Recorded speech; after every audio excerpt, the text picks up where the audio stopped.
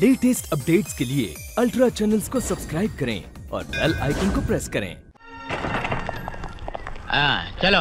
Inspector मुझे साहिल से बात करनी है। बात बीत बिल्कुल नहीं करनी चलो। इंस्पेक्टर साहब सिर्फ़ एक मिनट। एक ही मिनट। साहिल दुनिया तुम्हें कुछ भी समझे लेकिन मेरी नज़रों में तुम हमेशा बेगुनाह रहोगे। जाने से पहले गले नहीं मिलोगी। शीतल मेरी पॉकेट में एक लॉकेट है। इसे तुम चुपचाप से निकाल लो। इसके बारे में मैंने किसी को नहीं बताया।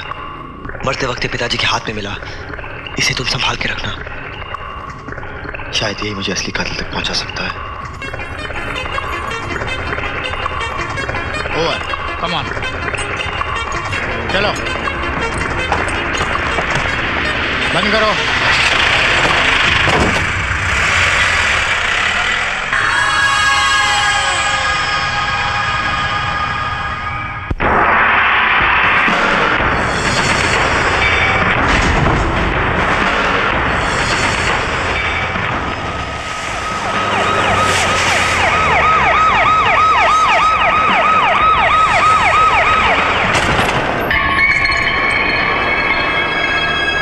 चल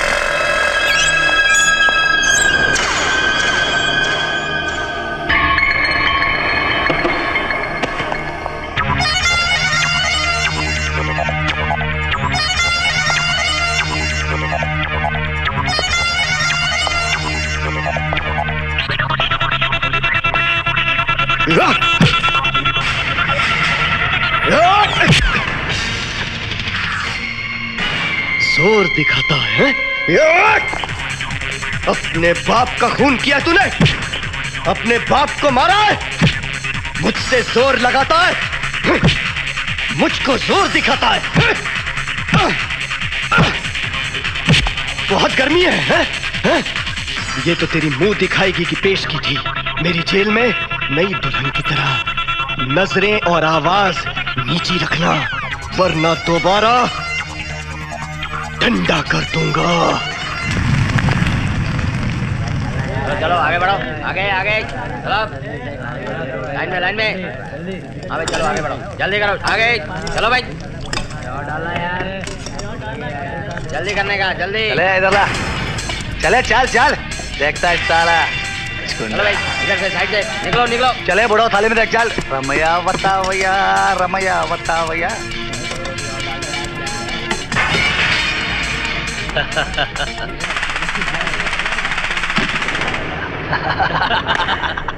कि भाई और चिकन चले बहुत गुस्सा आ रहा है क्या? कौला है सिवा भाई।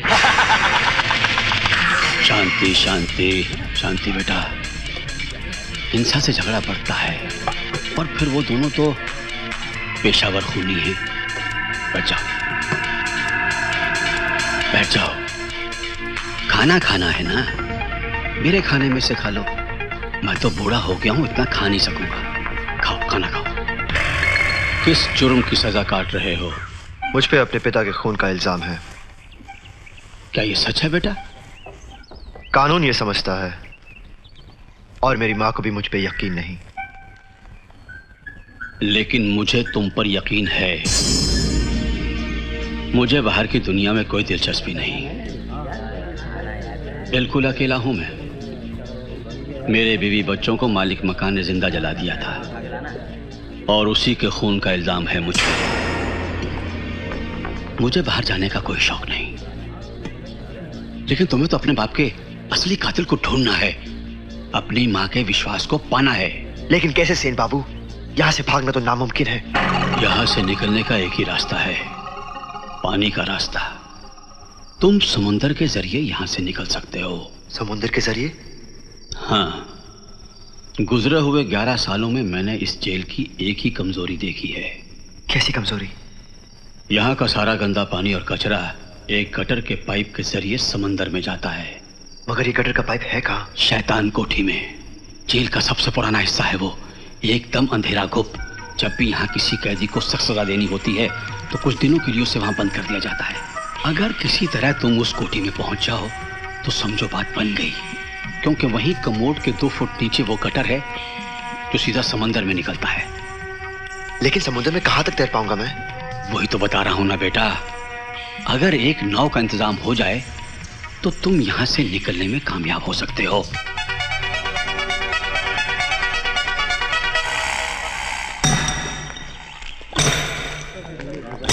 ए बाईस नंबर। एक लड़की मिलने आई है। शीतल तुम? कैसे हो साहिल? मैं ठीक हूँ पर माँ कैसी है? सुना है अभी तक उसी सदमे में है। बड़ी मुश्किल से आने की इजाज़त मिली है। शायद दोबारा ना आ सकूँ। दिल से मजबूर थी इसीलिए आई हूँ।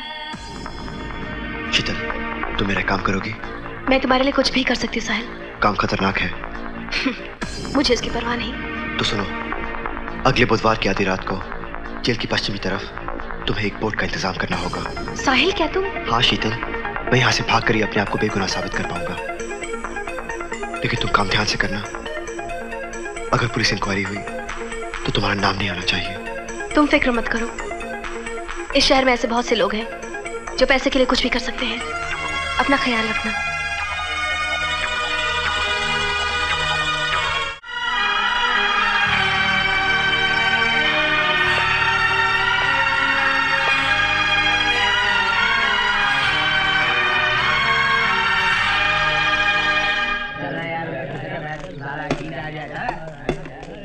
चले धकेला चल उठ जा चल। साला अपुन के पहले खाना खा रहा है? चल छोटे शुरू कर।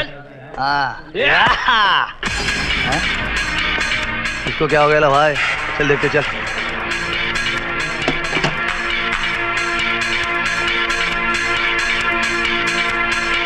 तुम जैसे टटपुंजिए जेल में गवर्नमेंट का माल खाते हो और बाहर पब्लिक का। झूठन खाने की औकात है तुम्हारी। ये तो बहुत बोल रहा है साले।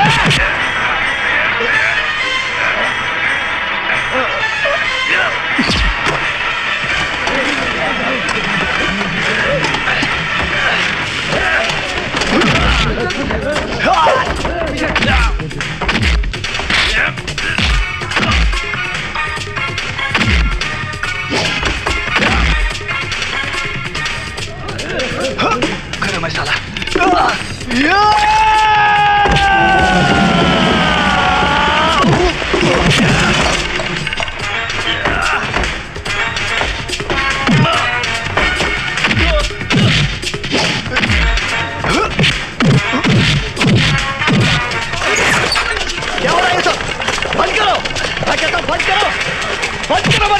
कर दूँगा। तूने मुझ पर हाथ उठा के बहुत बड़ी गलती किया मैं तुझे जान से मार डालूँगा। इसका कोई कसूर नहीं है कोई कसूर नहीं है साहब। उन लोगों ने इसका जीना मुश्किल कर दिया था। हट जा बुढ़े। ले जाओ इन तीनों को।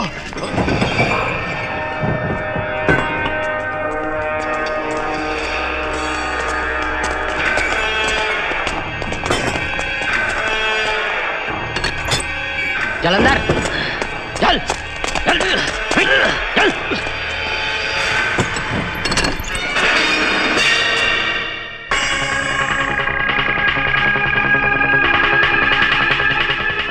चिकन चिली तो हम दोनों की चिकन तंदूरी बनाने का सोच रहे हैं। सुबह तुम दोनों को मैं एक शर्त पे छोड़ सकता हूँ। हमें सब शर्त मंजूर है। जैसा मैं कहूँ पैसा करना होगा। हाँ हाँ करेंगे। बोलो ना शिवा भाई करेंगे। करेंगे। लो ये सलिया पकड़ो। और चलो मेरे साथ।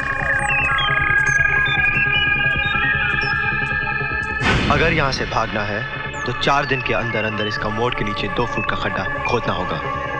भागने का रास्ता यहीं से है। ए तू सच बोल रहा है क्या? बुध की रात को मैंने एक बोट का इंतज़ाम भी किया है। अरे बाप तू तो आप से भी चैप्टर निकला यार। बाप का खून किया शिवा भाई। नहीं मज़ाक कर रहा था यार। खोदना शुरू करो। चल छोटे शुरू हो जा फटाफट।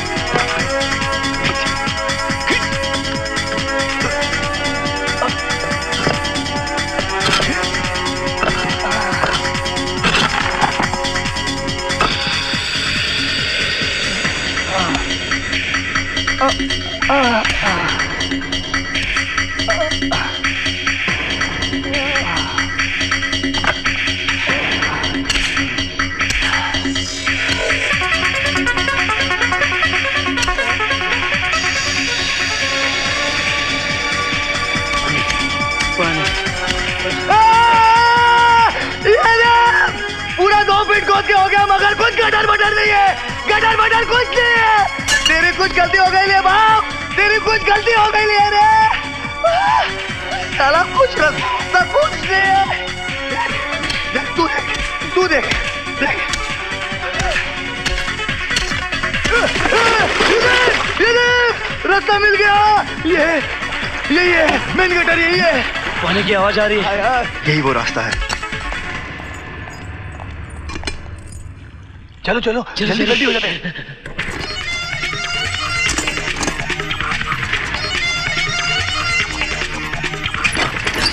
कोई आ रहा है?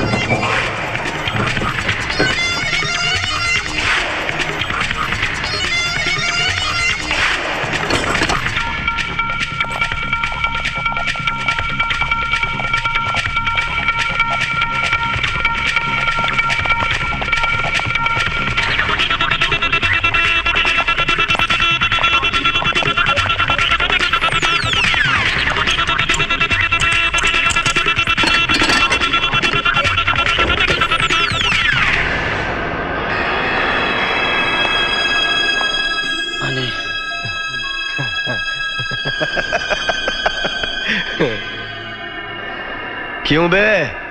चर्बी उतरी कि नहीं? मुझे उंगली करके बहुत बड़ा पंगा ले लिया है तुम लोगों ने। तीन दिन और यहाँ रहोगे ना तो सारी हेकड़ी निकल जाएगी। हराम खोर मुझसे पंगा।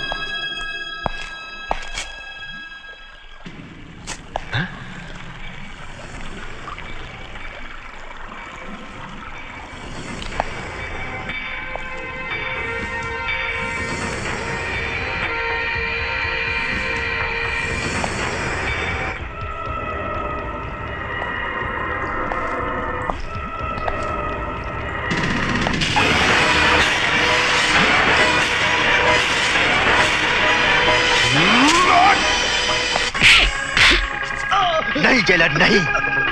आज मैं डंडा करूँगा। और ऐसा डंडा करूँगा कि तुम फिर कभी डंडा पकड़ने के लायक नहीं रहोगे।